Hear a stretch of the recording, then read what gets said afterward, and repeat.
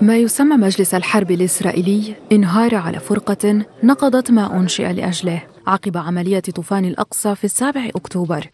إذ أراد قادة الاحتلال عبر مجلسهم توحيد الموقف والقرار السياسي بمباركته العدوان الوحشي على قطاع غزة قبل أن يقرر رئيس حكومة الاحتلال بنيامين نتنياهو حل المجلس الذي طلب كل من بنغفير وسموتريتش الانضمام إليه عقب استقالة غانتس وإيزنكوت مستوى الانقسام والتفكك بالداخل الصهيوني يعده الجانب الفلسطيني نتاج فعل مقاوم أربك جيش الاحتلال وساسته.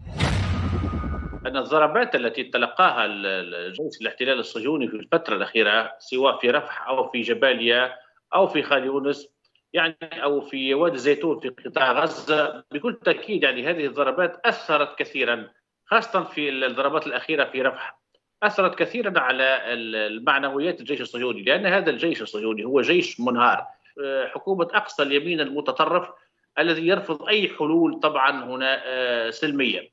وربما هذا كذلك مما جعل الموقف المقاومه الفلسطينيه أيضا موقف كذلك لأن يفهمون جيدا السنوار ورفاقه يعرفون جيدا كيف يفكر الإسرائيلي ويعرف جيدا كيف يفكر نتنياهو.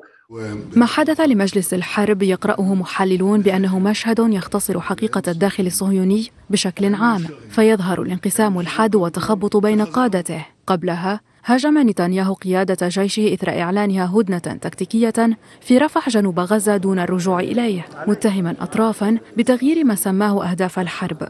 كان الهدف من بناء مجلس الحرب هو إعطاء مصداقية وشرعية آه، لجزء كبير من المعارضة أبان آه، بداية الحرب على قطاع غزة وأيضا للتأكيد على أن أغلبية المجتمع الصهيوني يوافقون على إصدار قرارات. يعني كان هناك إشكالية في إعطاء شرعية لإصدار القرارات من خلال مجلس الحرب. ولكن بعد انسحاب آه، معسكر الدولة وجانيتس وشريكه إسكونت آه، من الواضح جدا أن هذا المجلس لم يعد لديه فائدة. مجلس الحرب الصهيوني الذي كان يعول عليه لتسويق الإجماع والتوافق لم يصمد أمام خلافات قادته.